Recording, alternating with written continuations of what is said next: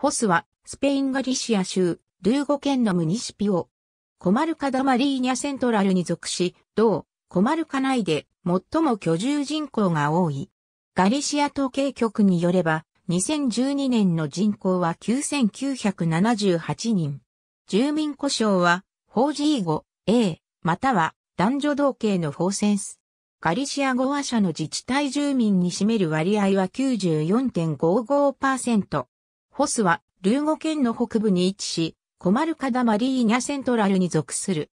隣接する自治体は、北がブレーラ、東南がバレーロス、南がローレンサーとモンドニエードとアルフォス、西側バラドーロとセルボで、東はカンタブリア海に面している。自治体の中心地区はホス教区のフォス地区。ホスはビベーロ司法管轄区に属す。住民は9の教区の60の地区に居住する。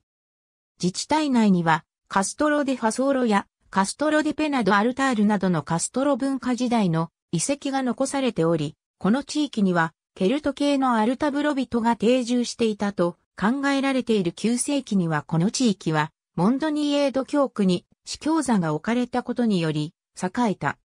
自治体首長はガリシア国民党のハビエル・ホルヘ・カスティニエイラ、自治体評議員はガリシア国民党5、ガリシア社会党4、ウナフォース3、ガリシア民族主義ブロック1となっている。ホスは9の教区に分けられている。太字は自治体中心地区のある教区。ありがとうございます。